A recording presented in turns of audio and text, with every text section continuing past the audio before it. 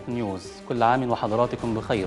نقدم لحضراتكم جولتنا الإخبارية اليومية وفيما يلي أهم العناوين. قداسة البابا تودروس الثاني يرأس قداس عيد الميلاد المجيد مساء اليوم بالكاتدرائية المرقسية بالعباسية.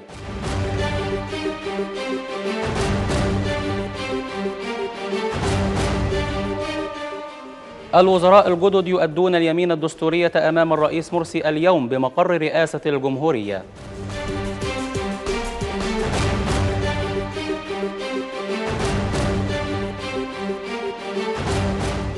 إلى تفاصيل الأنباء ونبدأ بجولة من أخبار الكنيسة حيث تحتفل الكنيسة الأرثوذكسية مساء اليوم بعيد الميلاد المجيد بجميع كنائس مصر حيث يرأس قداسة البابا تودروس الثاني بابا الإسكندرية وبطريرك الكرازة المرقسية صلاة قداس العيد بالكاتدرائية المرقسية بالعباسية لأول مرة بعد تنصيبه في الثامن عشر من نوفمبر الماضي وذلك على رأس لفيف من الأساقفة والكهنة.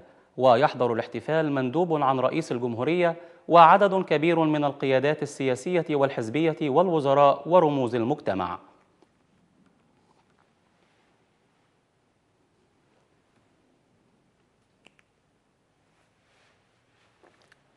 وفي سياق متصل بعث الرئيس مرسي برقية تهنئة إلى قداسة البابا تودروث الثاني بمناسبة الاحتفال بعيد الميلاد المجيد.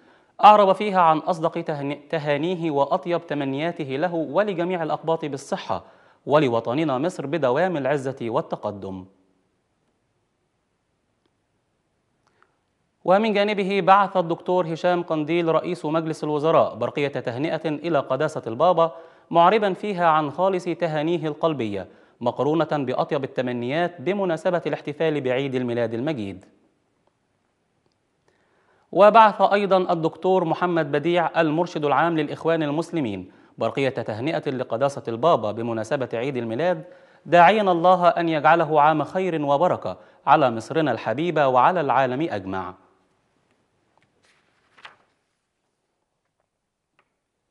ومن ناحية أخرى أكد قداسة البابا تودروث الثاني أن مواد الدستور المصري لم تأخذ ما تستحقه من مناقشات مجتمعية للوصول إلى اتفاق كامل حولها مشيرا إلى بعض المواد التي كانت تسبب إشكالية عند الأقباط. وقال البابا خلال حواره في برنامج جملة مفيدة الذي تقدمه الإعلامية منى الشاذلي على قناة إم بي سي مصر. قال البابا الدستور هو المخزن الذي نستمد منه كل حياتنا كمجتمع. لذلك حينما أضع دستورا في بلد لابد أن أضعه تحت روح المواطنة. نحن يجمعنا أننا مصريون ومصر قيمة كبيرة. وأشار البابا تودروس إلى أن الكنيسة انسحبت نتيجة لعدم وجود حوار كاف حول مواد الدستور. وعلى صعيد متصل يذاع حوار حصري على شاشة ميسات مع قداسة البابا تودروس غدا في تمام الساعة التاسعة مساء. لو سألت حضرتك عن الدستور الذي انسحبت منه الكنيسة هل انسحبت منه لأنه في نقطة سوداء لا يمكن تجاوزها ولا لأنه المساحة كلها مش بيضة المساحة كلها فيها شيء ما؟ الروح الروح. الدستور أبو القوانين صحيح. وهو المخزن أو المصدر أو النبع اللي هنستمد منه كل حياتنا كمجتمع. لو أنا جعلت هذا المصدر ليس نقيا مية في المية مش هنقدر نرتوي منه كلنا. وبعدين لما أضع دستور في بلد أضعه تحت روح المواطنة. وكلمة مواطنة يعني أنا وطن. اللي يجمعنا إن إحنا مصريين. حضرتك صحفية أنا رجل دين. نختلف فيها. حضرتك إنسانة مسلمة أنا إنسان مسيحي. ممكن نتنوع في كده. آه، حضرتك امرأة أنا رجل. كل التنوعات دي قابلة لكن الصفة الوحيدة بس اللي تجمعنا الدقهلية وأنا من الدقهلية آه طب دي حاجة مضافة بقى. منصورية. آه. آه. الحاجة اللي تجمعنا كلنا إن إحنا مصريين ولدنا على هذه الأرض. فأنا أحمل جنسية هذه الأرض مصر. مصر موجودة في الكتب المقدسة في الأديان. مش كده؟ في بلاد تانية مش موجودة. خدي بالك من القيمة دي. يعني بعظمة أمريكا مش هلاقيها في الكتب المقدسة. مش كده برضو؟ فإحنا لنا قيمة. صحيح مصر موجودة في القرآن والإنجيل والتوراة. آه آه آه. مصر. مصر. آه صحيح. آه. دي قيمة إزاي آه، يعني نتغاضى عن كده. فإحنا مصريين لما يوضع دستور يوضع بروح مصرية خالصة. عقد الرئيس محمد مرسي ظهر اليوم اجتماعا بمقر رئاسة الجمهورية بمصر الجديدة لمجلس الوزراء بتشكيله الجديد بحضور الدكتور هشام قنديل رئيس المجلس. وكان الوزراء الجدد في التعديل الوزاري قد أدوا اليمين الدستورية أمام الرئيس مرسي في وقت سابق اليوم. ومن المقرر أن يتناول الاجتماع سبل تحسين الأوضاع الاقتصادية بما في ذلك تنشيط السياحة وجذب الاستثمارات وزيادة الصادرات. ورفع معدل النمو بما يسمح بإتاحة مزيد من فرص العمل للشباب إلى جانب سبل الارتقاء بالخدمات المقدمة للمواطنين في جميع المجالات. أحترم الدستور والقانون وأن أرعى مصالح الشعب رعاية كاملة وأن أحافظ على استقلال الوطن وسلامة أراضيه. وعلى صعيد المتصل أجرى الدكتور هشام قنديل رئيس الوزراء اتصالا هاتفيا أمس بالوزراء السابقين الذين شملهم التعديل الحكومي حيث وجه إليهم خالص الشكر والتقدير على الجهود التي بذلوها خلال فترة توليهم المسؤولية في الحكومة على مدار الفترة الماضية والتي أدوا فيها عملهم في ظل ظروف صعبة ودقيقة. وأعرب قنديل عن تمنياته للوزراء السابقين بالتوفيق والسداد في خدمة مصر في كافة المواقع التي يشغلونها في المستقبل.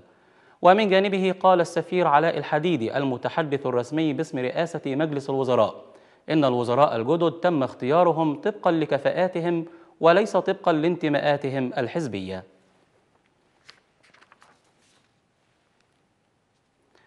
أكد الفريق أول عبد الفتاح السيسي القائد العام للقوات المسلحة وزير الدفاع والإنتاج الحربي أن هناك ثوابتا وطنية راسخة تحكم العلاقة بين القوات المسلحة وأهالي سيناء. وأشار السيسي خلال لقائه بشيوخ قبائل سيناء إن القوات المسلحة لن تسمح بالمساس بحقوق أهالي سيناء ولن يضار أحد من أبنائها الشرفاء من جراء تطبيق القانون الخاص بتملك الأراضي في سيناء. وجاء اللقاء الذي قام خلاله أبناء سيناء بإهداء السيسي العباءة السينوية تقديرا لدوره في إطار عملية التواصل المستمر وتبادل الرؤى بين المؤسسة العسكرية وأبناء سيناء حول القضايا المختلفة محل, محل اهتمام الجانبين.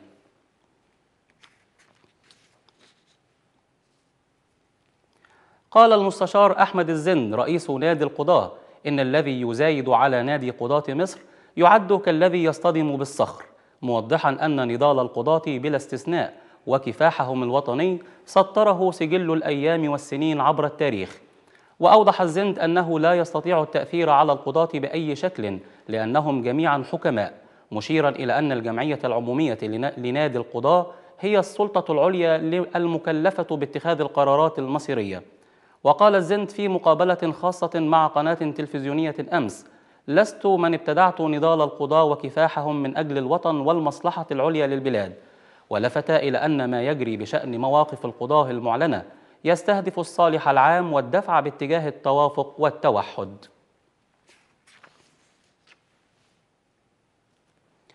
إلى أخبار الاقتصاد حيث أنهت البورصة تعاملات اليوم على تراجع طفيف ليخسر رأس مالها السوقي نحو 538 مليون جنيه مدفوعة بمبيعات المستثمرين الأجانب والمصريين.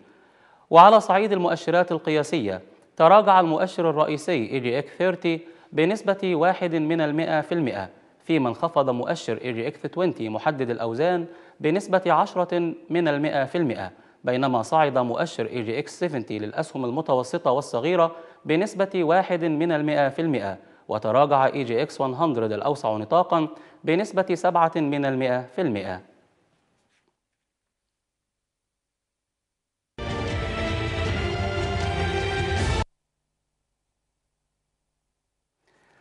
وإلى الشأن السوري حيث ألقى الرئيس السوري بشار الأسد اليوم خطابا تحدث فيه عن رؤيته لحل الأزمة السورية والتي تستند إلى وقف العمليات العسكرية وإجراء حوار شامل يضم كافة الأطياف السياسية.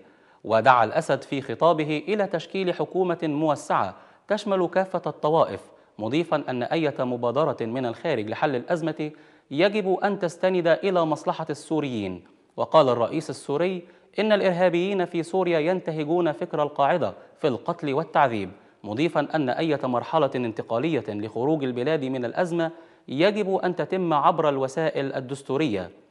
وأشار الأسد إلى أن سوريا الآن أمام حالة حرب بكل ما تحمله الكلمة من معنى والصراع الآن ليس صراعا بين فريقين على السلطة بل بين الوطن وأعدائه. سياسي فقط يتعامى عن هذه الحقائق فهو إما جاهل بالوقائع أو متخاذل يقدم الوطن والمواطن لقمة سائغة للمجرمين ومن يقف خلفهم يبيع شعبه ودماء شهدائه بالمجان وهذا ما لن نسمح به. البعض يتحدث عن الحل السياسي فقط والبعض يتحدث عن مكافحة الإرهاب فقط. هذا الكلام غير دقيق. الحل يجب أن يكون حل شامل وفيه محاور فيه السياسي وفيه مكافحة الإرهاب وفيه محور ثالث مهم جدا هو الحل الاجتماعي. لا أحد يتحدث عن الحل الاجتماعي. الحقيقة لدينا نماذج في حمص ودرعا تحديدا. تحسن الوضع بشكل كبير بسبب هذا الحل الحل الاجتماعي. أشخاص وطنيون يمتلكون حس وطني انتماء وطني أخلاق قاموا بمبادرات ما بين الدولة وبعض المغرر بهم. من المسلحين من الإرهابيين. آه، فأعطت نتائج آه، هامة جدا على الواقع. هؤلاء الأشخاص لا ينتمون لأحزاب ليس لديهم أي برنامج سياسي. كما قلت ليس لديهم سوى الانتماء الوطني. ميدانيا أفادت مصادر عسكرية أردنية بانشقاق 200 عسكري عن الجيش النظامي الأيام الثلاثة الماضية ودخولهم المملكة عبر السياج الحدودي بين البلدين. ومن ناحية أخرى أعلن المنسق العام لشؤون اللاجئين السوريين بالأردن ارتفاع أعداد اللاجئين السوريين إلى المملكة اليومين الماضيين إلى 2680 لاجئا نتيجة تزايد أعمال القصف والعنف في سوريا. وفي سياق متصل ذكرت الشبكة السورية لحقوق الإنسان مقتل نحو 28 شخصا بنيران قوات الأمن اليوم بأنحاء متفرقة من البلاد.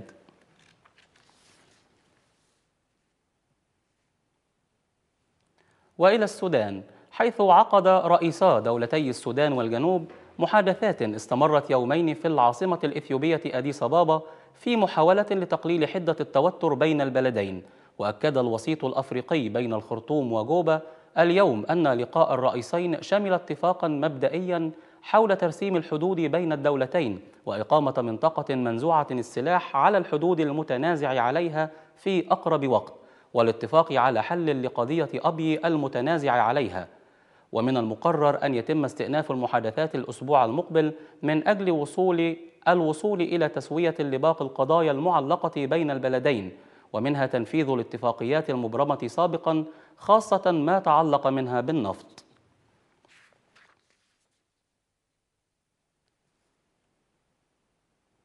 قرر النواب الفنزويليون إعادة انتخاب ديوسيدادو كابيلو الذي يعتبر حليفا وثيقا للرئيس تشافيز لرئاسة الجمعية الوطنية في خطوة لإعلانه رئيسا انتقاليا للبلاد حال عدم تمكن تشافيز من ممارسة مهامه إثر خضوعه لعملية جراحية لإزالة ورم سرطاني. وفي حال تنحي تشافيز فسيتولى كابيلو إدارة البلاد بوصفه رئيسا للجمعية الوطنية على أن يتم تنظيم انتخابات جديدة في غضون شهر. وكان كابيلو قد حذر من قبل القوى المعارضة من محاولة استخدام الجمعية الوطنية للتآمر ضد الشعب. جدير بالذكر أن الرئيس الفنزويلي لم يظهر علنا منذ أكثر من ثلاثة أسابيع وأفاد مسؤولون أن حالة تشافيز حرجة للغاية إثر إصابته بمضاعفات في أعقاب العملية الجراحية الأخيرة التي أجريت له في كوبا.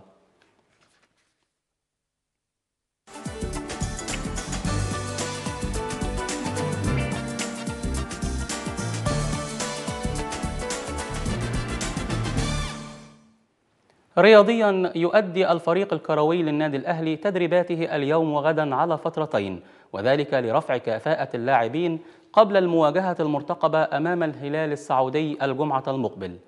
ومن ناحية أخرى أرسل النادي الأهلي خطابا رسميا لجميع الاتحادات الرياضية للمطالبة بإيقاف النشاط الرياضي في الأول من فبراير وتأجيل المباريات استنادا إلى قرار مجلس إدارة النادي الذي اعتبر الأول من فبراير من كل عام يوما للشهداء. وكانت المسابقات المحلية لكرة القدم قد توقفت منذ أحداث بورسعيد التي تواكب الأول من فبراير والتي أدت إلى إلغاء مسابقات الدوري وتأجيل انطلاق الموسم الجديد عدة مرات لعدم موافقة الأمن.